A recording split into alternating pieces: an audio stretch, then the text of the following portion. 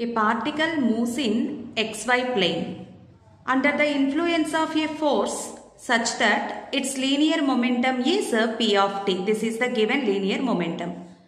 K is constant, the angle between f bar and p bar. In this question, we have to find out the angle between force and momentum vectors. We know force is the rate of change of momentum.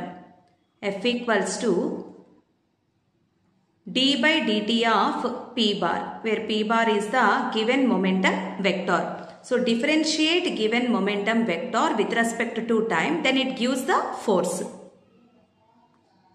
d by dt of i cap cos kt minus j cap sin kt where k is constant d by dt of cos kt. Differentiation of cos becomes to minus sin. Again differentiate kt. k constant minus k sin kt i cap. Here minus sign is there. Differentiation of sin is uh, cos. k is constant again. k into cos kt j cap. This is force.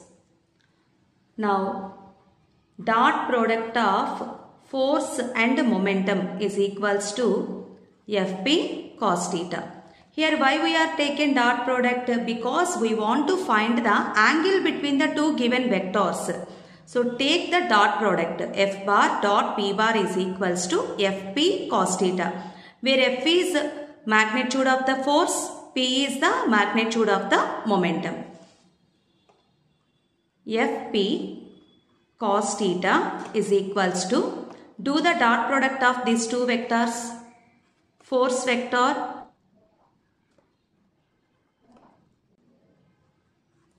dot momentum vector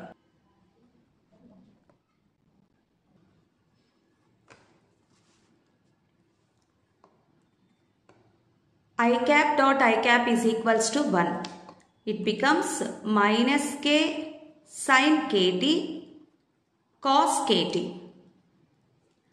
Minus into minus becomes to plus j cap dot j cap is equals to 1. Then this term k sin kt cos kt. These two terms get cancelled. It becomes to 0. Then what about the cos theta? cos theta is equals to 0. 0 by anything is equals to 0. Then theta is equals to cos inverse 0.